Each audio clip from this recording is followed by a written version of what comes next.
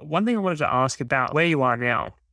How do you think, what are some key things that you think university has prepared you for really well in what you do now? Do you think university has done a good job of, of prepping you, or has it been more of these other things you've done, with your work experience, Nepal, um, other things you've done? What would you say has affected you more, even within, let's say, university? How well do you think that's prepared you um, for what you're doing? Yeah, university is one of one of the best educational ecosystem products, and is an education ecosystem.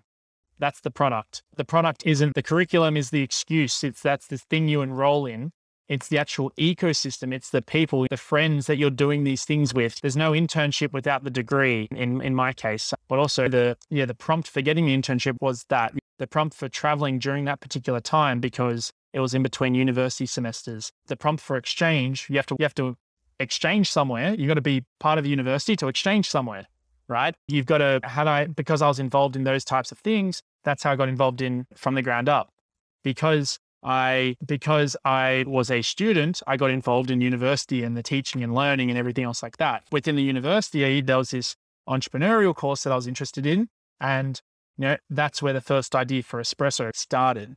So you, you've to really think about what did I get out of it? Was it any given subject, any given class, any given syllabus dot point?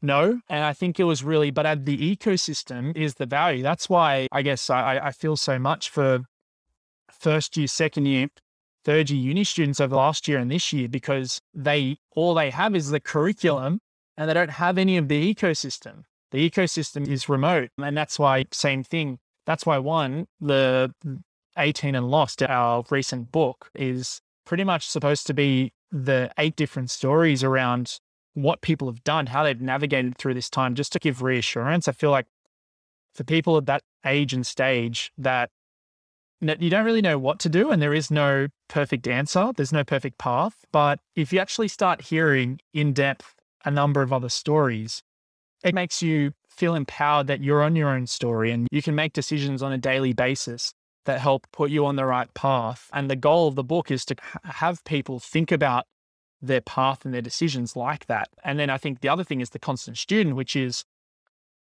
what are the best parts of the ecosystem and what the, and let's remove the worst parts of the of the product which you, you would know as a know, as a participant as a member that there's no curriculum absolutely no curriculum and it's just the ecosystem and any of the programs that are being run through it they're not being run because here's your certificate, here's something, here's something that you can show everyone else. It's here are techniques that help you do more of what you want to do anyway. This is the prompt, the reason that everyone has their goal in their six week programs that you'll get from point A to point B and make a tangible difference during that time.